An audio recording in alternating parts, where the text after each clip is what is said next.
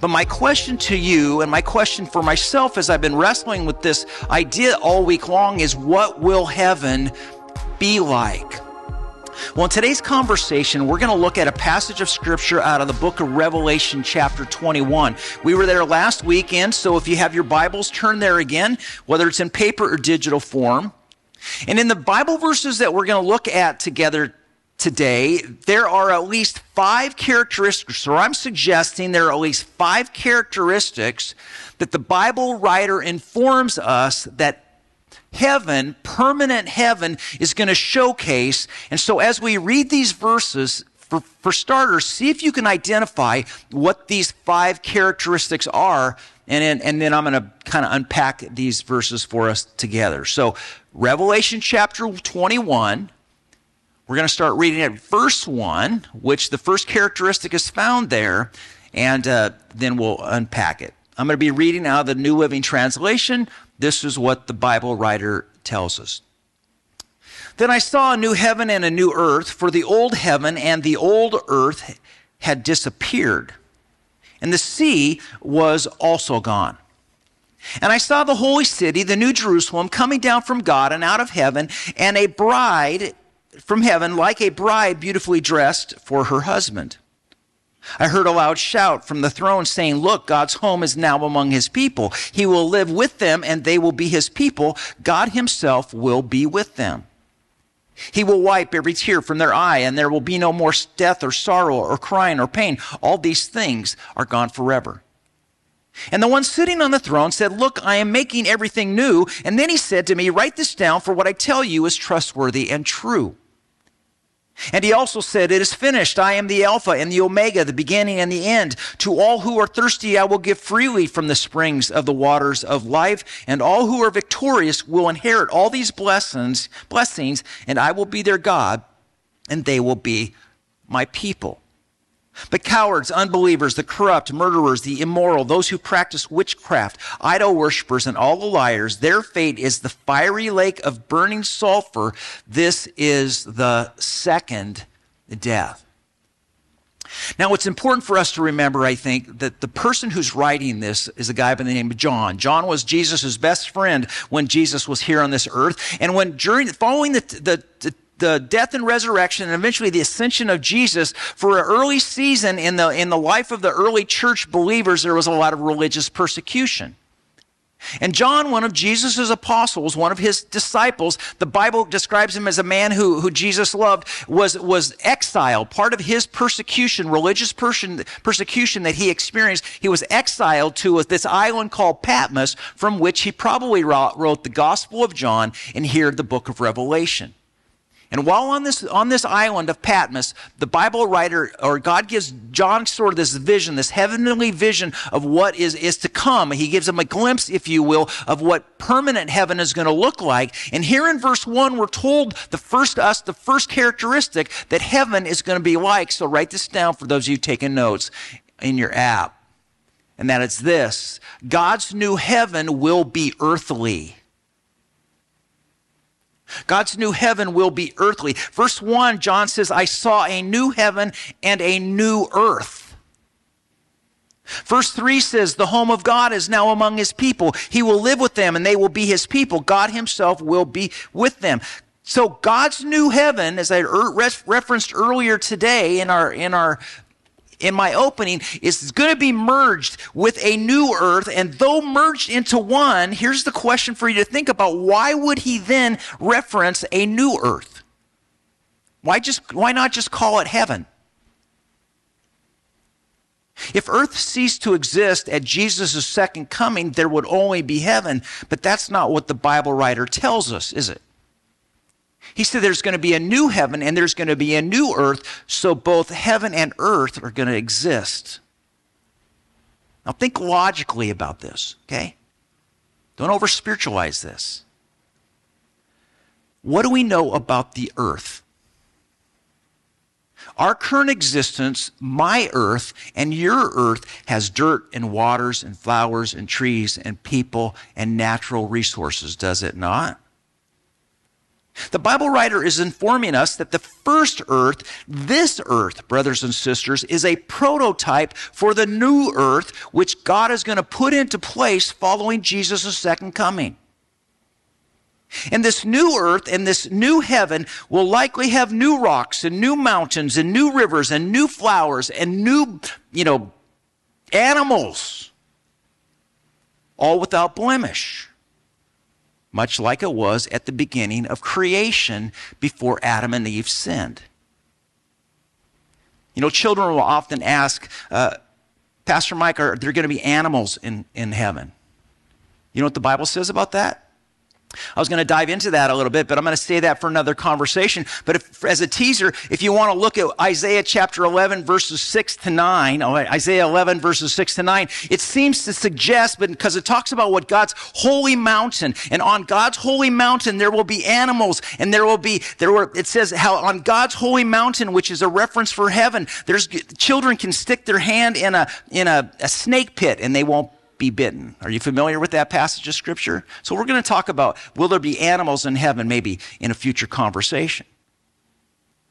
Randy Alcorn, in his book in, on heaven, writes this, and I'm going to quote him. He says, God placed mankind on earth to fill it, rule it, and develop it for God's glory, but that plan was never fulfilled. Why was that plan never fulfilled? Because Adam and Eve sinned, right? And so he says, should we therefore conclude that God's plan of creation was ill conceived, thwarted, or abandoned? No, he writes, these conclusions do not fit the character of an all knowing, all wise, sovereign God. Sisters and brothers, creation in the words of God when we read the book of Genesis was good. It was very good. Is that not what God said?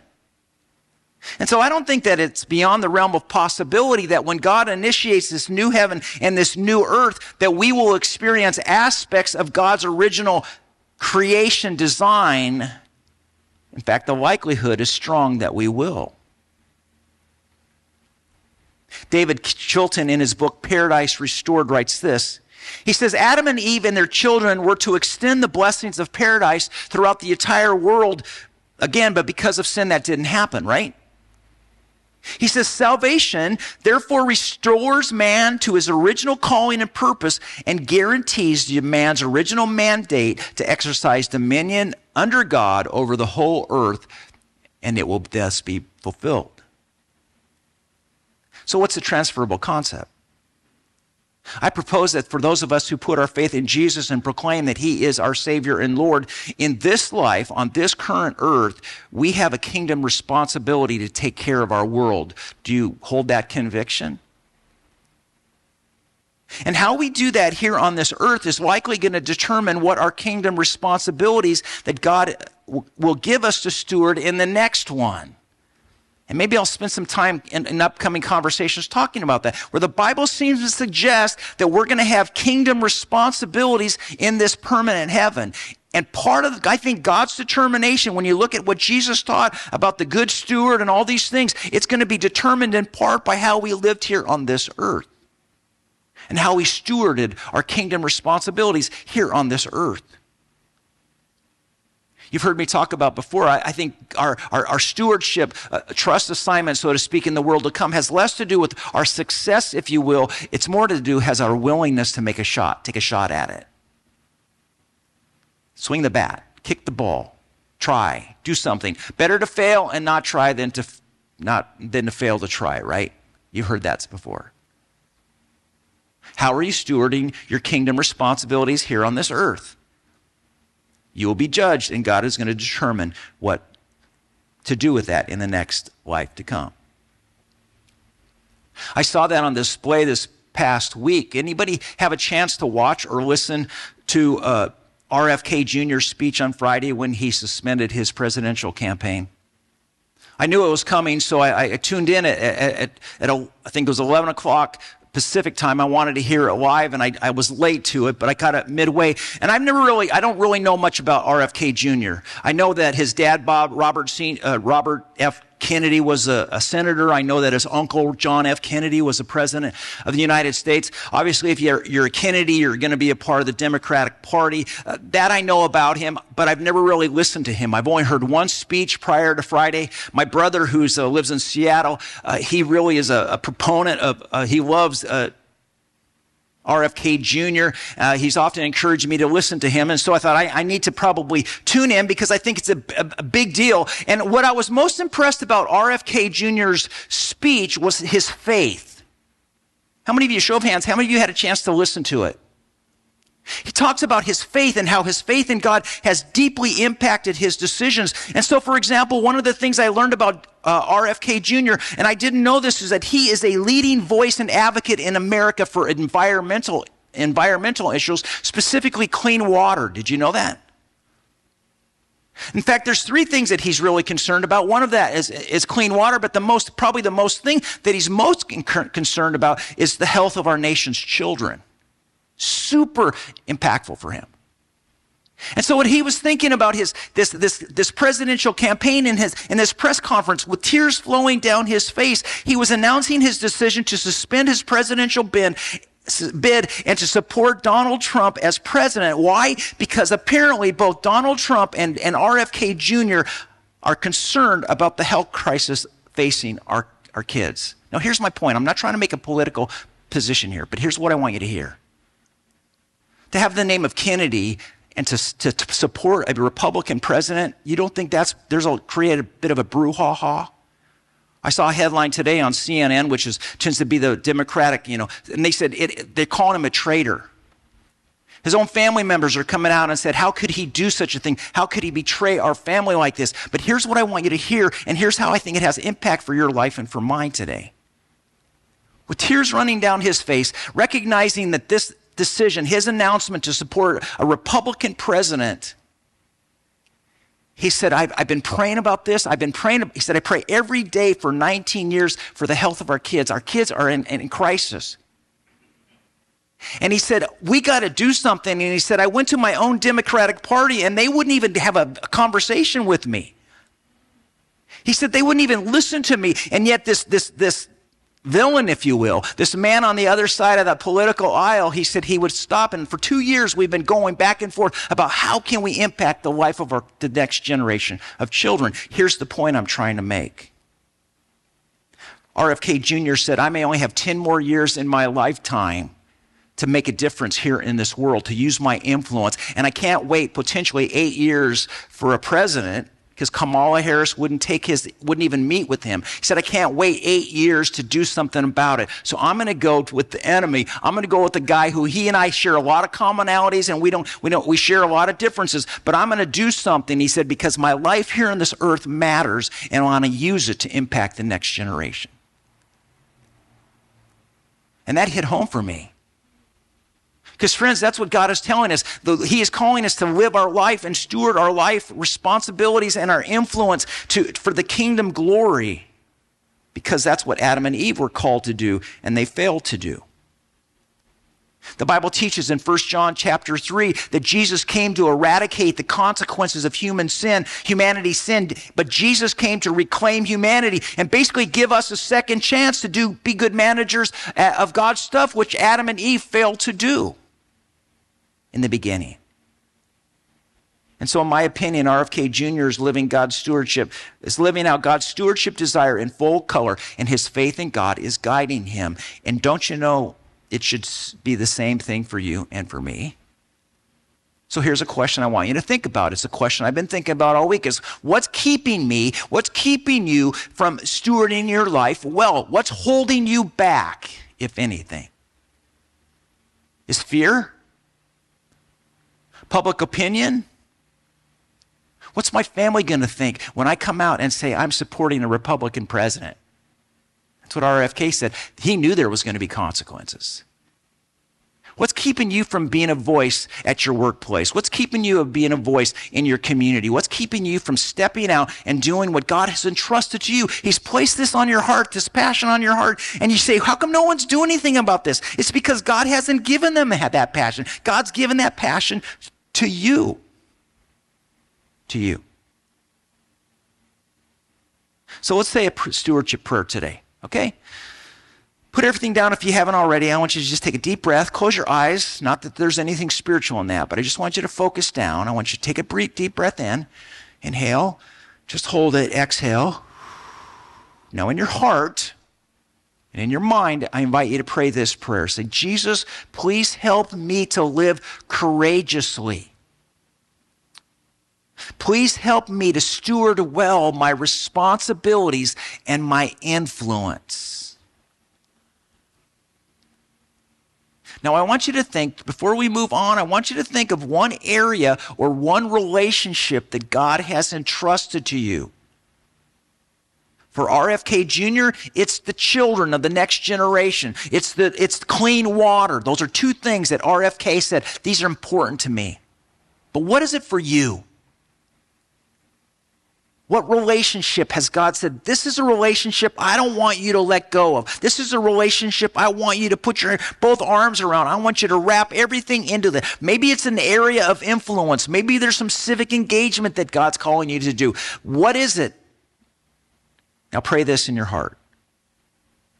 Say, Jesus, please help me to represent you boldly here, and you fill in the blank. Jesus, please help me to represent you with courage here. And you tell him what it is. Good. Let's move on. Characteristic number two.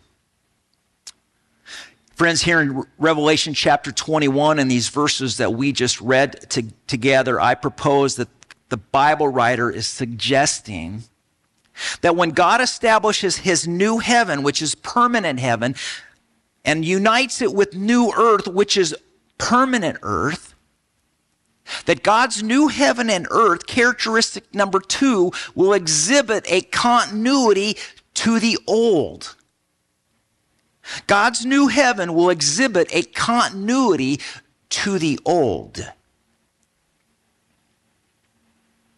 We've talked about this in, in previous conversations, but I'm going to review it. Do you remember how in the Gospels of, of Luke and John, how following Jesus' death on the cross and resurrection from the tomb, that at first Jesus' followers didn't recognize him? Remember the story in Luke chapter 24 where the two disciples are, are, are, walking on the road to Emmaus from Jerusalem to Emmaus, and this guy shows up and they start having this conversation. And it wasn't until they broke bread that suddenly Jesus sort of shows himself to them and they recognize, whoa, that was Jesus. And they think, wow, wasn't, weren't our hearts burning within us? This, oh, yeah, it was totally Jesus. And they rush back to Jerusalem to tell the followers. Remember how Mary was in the tomb following Jesus' death? She's going there and she meets this guy who she thinks is a, is a, a gardener, right? And she starts to interact with him. And then Jesus calls her out and he says, Mary. And then Mary realizes, oh, this is Jesus. And she clings to him. Or how the disciples, when they were in the upper room, Jesus suddenly appears for him to them. And what do they think he is? It's a ghost, they say. They don't recognize him right away. And then Jesus says, Give me some food to eat. Touch my hands. Look at this, touch this scar on my side, the hole in my side. It's me, you guys. Oh, yeah, it's Jesus. Even when we read the, the Gospel of John, chapter 21, there's a story where Peter is trying to get his head around, you know, what's taking place in the events of Jesus' death and resurrection. You know, he's denied Jesus three times and they're out in this boat fishing. When John turns to G- Peter, there's this guy, he's giving them instructions for where to throw their nets. And he turns to Peter and says, Hey, it's Jesus. It's the Lord. It's then that Peter recognizes Jesus, jumps out of the boat and goes to shore. Remember those stories? At first glance, following his resurrection, Jesus was not recognized. But then, after some conversation, the Bible records how Jesus' followers recognized him, didn't they? You say, Pastor Mike, what's your point? Here's my point. Jesus' resurrected body had familiarities to his old earthly body. And I'm proposing simply that Jesus is giving us a glimpse into what heaven will be like. And what I'm suggesting, brothers and sisters, is not heretical. In heaven, our new body, I propose that Jesus is modeling for us, is going to showcase a continuity to our old ones. You're going to see somebody and you're going to recognize them. You're going to know them. That being said, understand that when a Christian gets to heaven, your body will be dazzling. Characteristic number three. Somebody say amen to that. In fact, all of God's new heaven, we're told here, will be dazzling. Show of hands. How many of you have ever been to a wedding? Everybody been to a wedding? Okay. How many of you have ever seen a bride in her glory? Just brings a smile to your face, doesn't it? Thinking about weddings and wedding dances and wedding food. You know, for the Jewish nation to whom the Bible was largely written to, Jerusalem was a special place. Jerusalem was where the Jewish temple was housed, and thus Jerusalem was often referred to as the holy city. And so when the Bible writer, the Apostle John here in the book of Revelation describes heaven now featuring a new Jerusalem that is as dazzling as a beautiful bride on her wedding day, that's what he says here. He is informing us that heaven will be spectacular. You know, years ago, I was invited. I was there was a season when I was doing a lot of weddings, and, and I did a wedding down at the Montage. I, I shared this story with some of you before. The Montage is this amazing. Uh, I don't even know if you can call it a hotel. It's it's like a palace uh, of beauty uh, out on the Laguna Beach. It's, it has this great grassy lawn area that overlooks the P- Pacific Ocean where the weddings and, and, and parties are, are, are, made. And then if you go up, so uh, let's say, let's say we're uh, behind me is the, the ocean. Here's this grass lawn. Then where you're at, there's this pool area. And then if you go up, the, the, the hotel is in like this horseshoe, horseshoe area. And so everybody, when they come out of their room, they get this beautiful view of the Pacific Ocean. And on this particular day, it was clear clear, the cool ocean breeze. The weather was perfect. I remember I was as I was greeting everybody and I was welcoming the bride had come in and I said, "Hey, welcome on behalf of I won't tell you their names, uh, so and so. Uh, we want to welcome you to this venue. And for all of you who were at the pool, and you could, all the people were at the pool and they were in their swimming suits up against the end of glass, and all of you up in the in your rooms, the whole the whole montage that was filled with people out on their decks watching. I said, I want to welcome you too, and the whole place just erupted in, in applause, and you could just hear the noise come down into this into this amazing wedding. But here's what I want. Here's why I'm telling that story. The groom told me, he said, Mike, I'm spending more money on this wedding, on this venue, than some of my family members make an entire year of wages. 100,000 plus, easy. Now, brothers and sisters, this wedding was spectacular. This wedding was dazzling. But in no way as great as wedding day and venue was, I propose it was nothing remotely close to what heaven is going to be like someday. Look at what the Bible writer tells us in verse 10, Revelation chapter 21. Let's keep reading. Verse 10, this is what we're told. So he took me to the spirit. So he took me in the spirit to a great high mountain and he showed me the holy city, Jerusalem, descending out of heaven with God. It shone with the glory of God and sparkled like a precious stone, like jasper as clear as crystal. The city wall was broad and high with 12 gates guarded by 12 angels. And the names of the 12 tribes of Israel were written on the gates. Skip down to verse 18. Verse 18. He said the wall was made of jasper and the city was pure gold as clear as glass.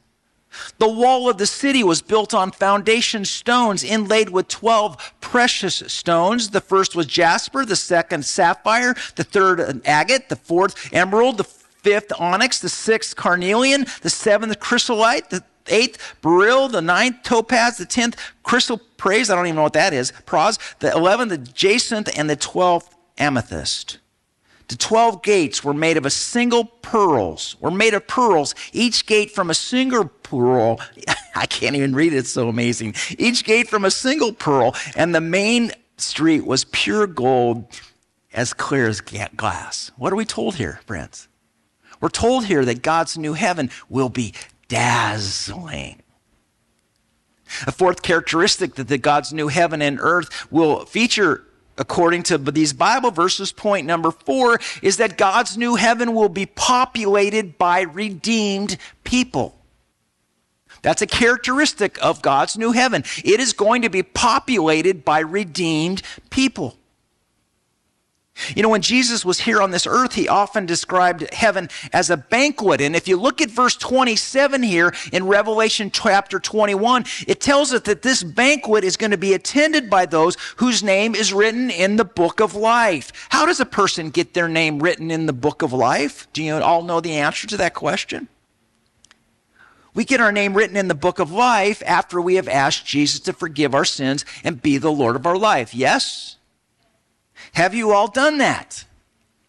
And if not, what are you waiting for? Here on earth, many believe that more sex and drugs and, and alcohol and money and a new car and a new boat and a new house and, and a better salary, even a, a cabin on the lake or up in the mountains will make them happy. And brothers, brothers and sisters, for a short season, it might. But long these, but long term, these possessions won't. Why?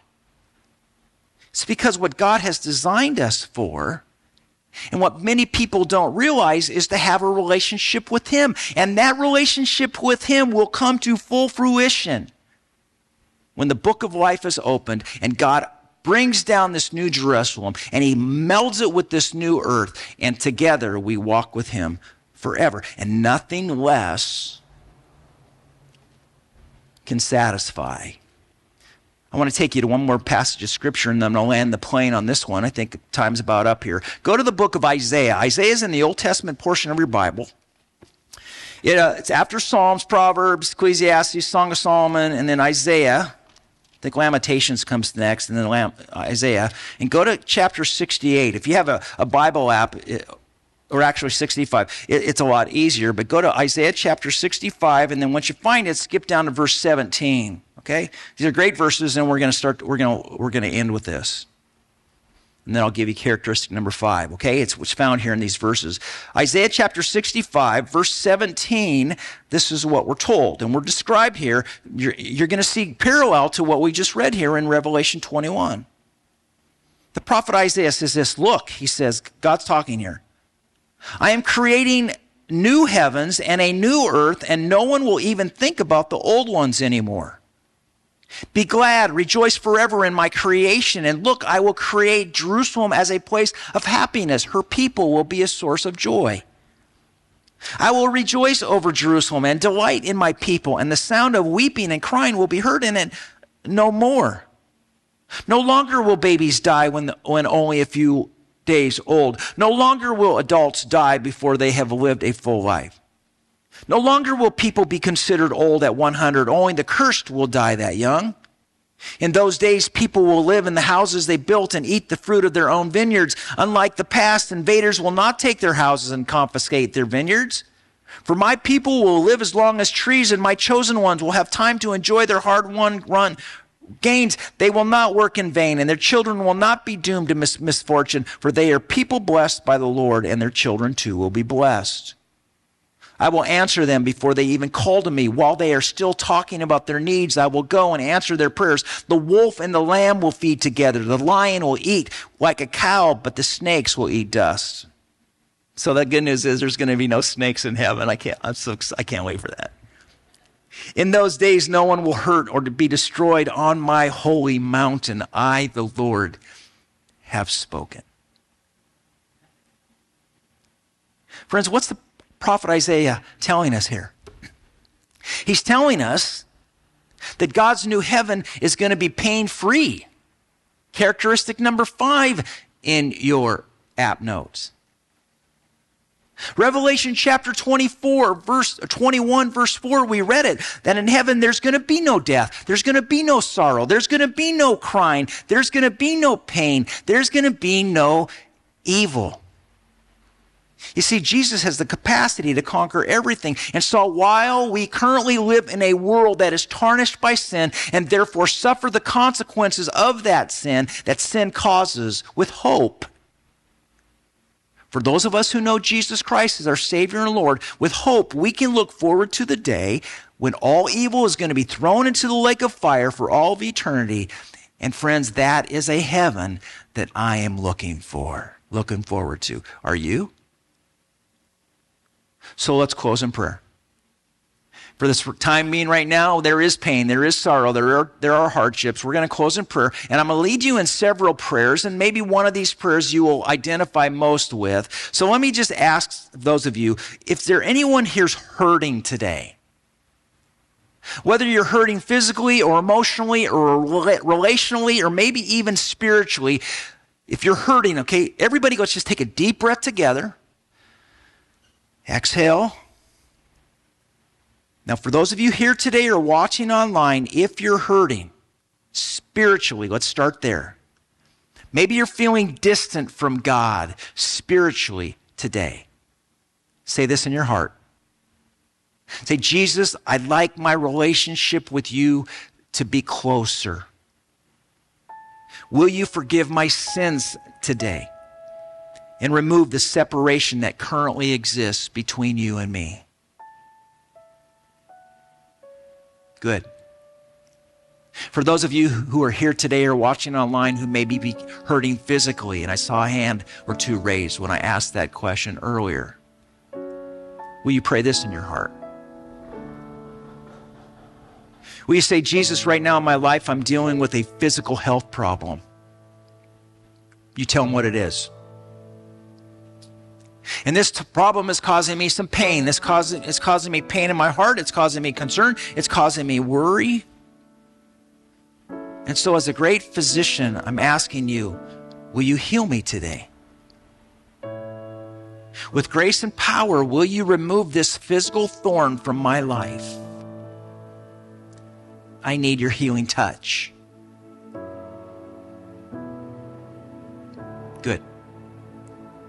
For those of you who are here today or maybe watching online, maybe your pain today is a relational pain. Maybe there's a relational hurt in your life. Maybe you're at odds with somebody.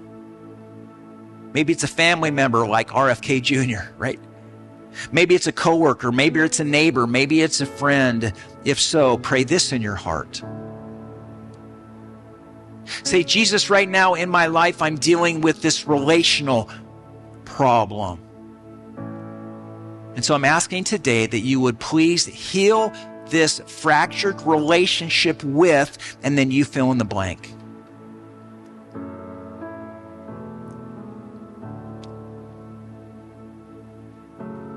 Heavenly Father, this world that we live in is tarnished.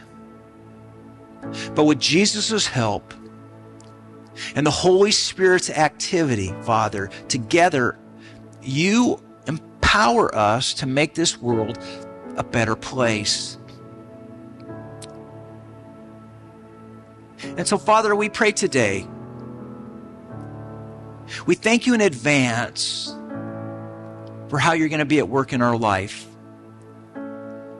We thank you in advance for how you're going to be at work in our situations. We thank you in advance for how you're going to use us this week to be your hands and feet as we strive to be encouragers to those in our world and help them maybe to believe in you and to realize that their situation is not hopeless as long as you are a part of it. And so, Father, while we wait for Jesus' second coming and wait for this new heaven and this new earth to be created, God, we pray that you would walk with us today and in the days to come. It's in Jesus' name we ask these things. And all of God's people said, Amen. Would you please stand as I send you out?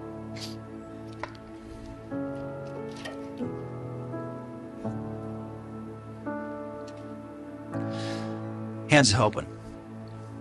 Sisters and brothers, I bless you today to, with an increased measure of encouragement so that you might be encouragers to the people who you come in contact with this week, whether it be digitally or in person. I bless you with an increased capacity to love people with your actions, with an ability to do things and not do things that will encourage. I bless you with increased ability to, to love people with your words by what you say and don't say, to be an encourager to those in your realm. I bless you, my brothers and sisters, in the name of God the Father, Jesus Son, and God the Holy Spirit. Amen and amen and amen. Have a great week, everybody.